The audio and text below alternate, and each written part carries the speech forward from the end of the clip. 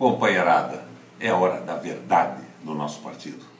O velho MDB de guerra nessa convenção vai se afirmar com a candidatura própria. Pense na comparação eleitoral desse governo que não faz nada, que aumenta a tarifa de água, de energia elétrica, tarifaço do Detran, que não paga professor, que tem greve a cada momento, com o nosso governo com 298 programas. O nosso governo com 44 hospitais, clínicas da mulher e da criança, bibliotecas, trator solidário, ônibus para as escolas, isentando as microempresas, fazendo crescer o interior com incentivos especiais para a industrialização. Nós, companheiros PMDBistas, tínhamos um governo de verdade e hoje não existe nada.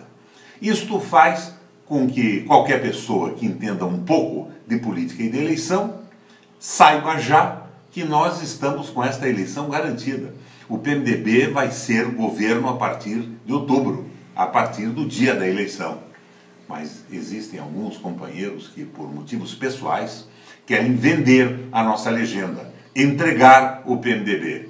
E isso estaria tirando do conjunto do partido a possibilidade de ser governo e pôr ordem na nossa casa. E a nossa casa é o Paraná. Quero contar com vocês nesta convenção. Uma votação bonita pela candidatura própria e eu coloquei meu nome à disposição de vocês.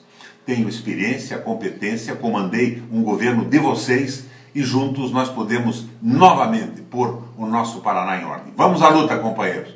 Convenção é para valer, porque a eleição nós já ganhamos.